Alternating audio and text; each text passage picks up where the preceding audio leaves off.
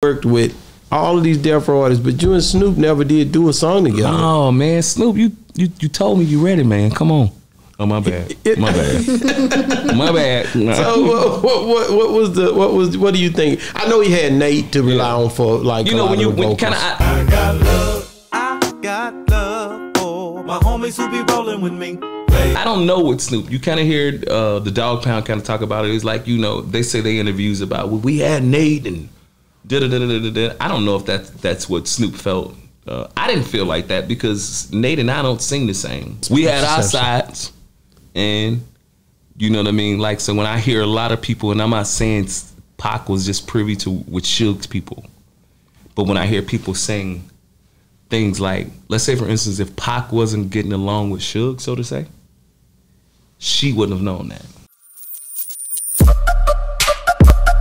Yeah, we on Boss Talk 101. 101. Yeah, we gonna talk. I gotta ask you about uh man, just Suge Knight, man. You was with them early. I gotta get back to the music because I I, I done skipped over something. You know, when you playing in your plate, you know it Mm-hmm. Ain't right, man. Yeah, go ahead. So I gotta I gotta get back in my bag. You are one of those guys, man, that you worked with all of these Death Row artists, but you and Snoop never did do a song together. Oh man, Snoop, you you you told me you ready, man. Come on. Oh my bad. My bad. my bad. So what, what what what was the what was what do you think? I know he had Nate to rely on for like you a know lot when you the when kind of vocals. I got love, I got love for my homies who be rolling with me. I don't know what Snoop. You kind of hear uh, the Dog Pound kind of talk about it. It's like you know they say they interviews about well, we had Nate and da da da da da da. I don't know if that that's what Snoop felt. Uh, I didn't feel like that because Nate and I don't sing the same. I love the way it's going down.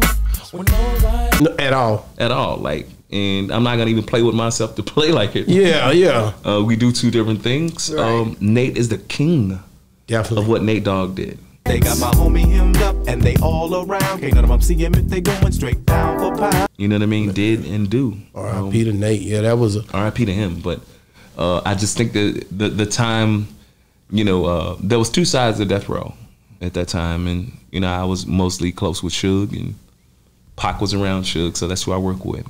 Didn't really get that opportunity to work with Snoop, but I, I look forward to that real soon. How was Tupac and Suge's relationship at the end? This is a gloomy place for people.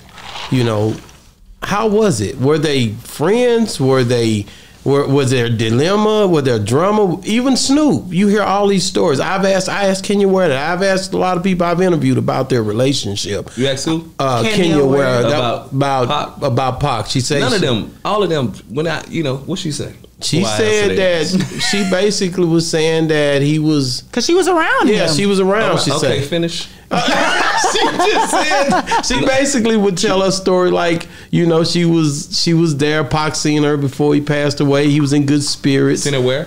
At she was there that night at the fight. Okay. And her, her and Nate's uh, wife. Big mama. Okay. Yeah, uh, baby mama at the time, may have been wife, but she just she seemed like they was in a good place except for Snoop. She said Snoop was not in a good place with Pac when he passed. That wasn't accurate. No, I mean, that, so he wasn't. stuff- they didn't ride together like no, that. that, that- no, it wasn't. It, that, that wasn't accurate. I mean, a lot of the things LT loved him to death, but that wasn't accurate. You yeah, know, he just putting something in there to I mean, sauce it up. Yeah, it wasn't. It wasn't like Cause you wasn't, because you was down there that night when that and- happened. No, Pac did not and Suge were not talking to Snoop and them. We were. It was everybody. Period. No, it was no talking So they basically, if it, if it could happen on site if we see them too. on site.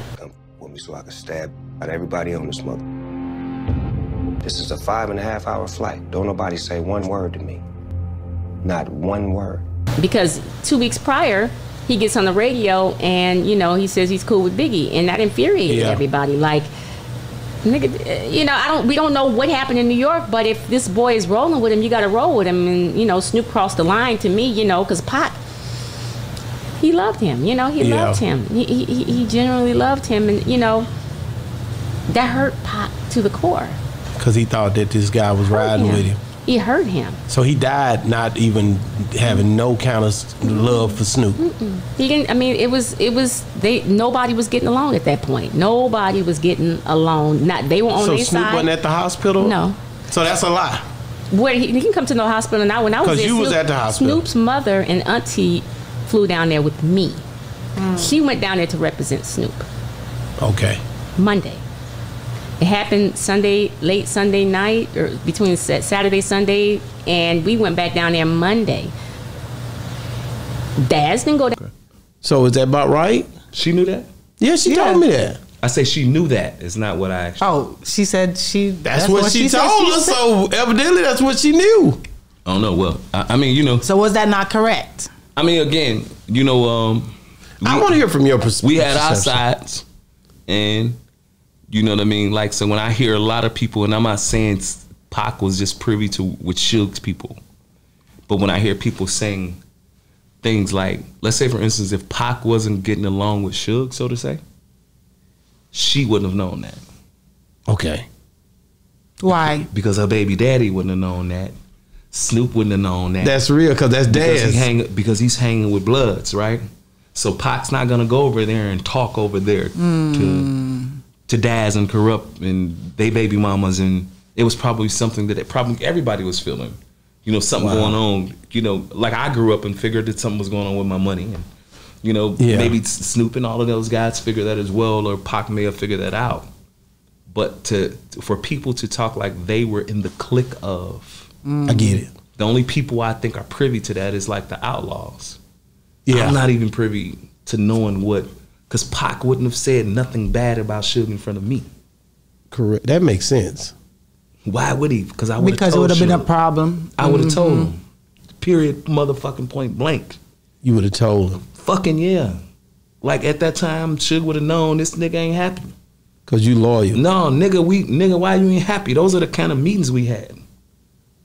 What nigga? He had like- guardianship you know of him. Yeah. So they had like- a close relationship. So relationship. that was a hell of a thing. That was an Yeah, intense meeting. yeah. I give mean, me a I give me you a know- story on some of the meetings. You just I'm got saying, me you know, thinking now. our, our red room meetings and our death row meetings. what the hell was y'all doing in these meetings, Daddy when, boy? when things if, if things and, and you know if something didn't go right on Snoop Snoop them side or you know on Suge them side, you know Snoop was the one to fix it, and Snoop people was the ones to fix it. They had OGs that fixed it. You know it wasn't like a bunch of Bloods is gonna beat on these Crips and these Crips gonna beat on these Bloods. It was Organized. It was organized shit. Like the homies checking the homies. Wow. You know what I mean? And and when, when things wasn't right, we would sit in a room and you know we would pull those things right as men.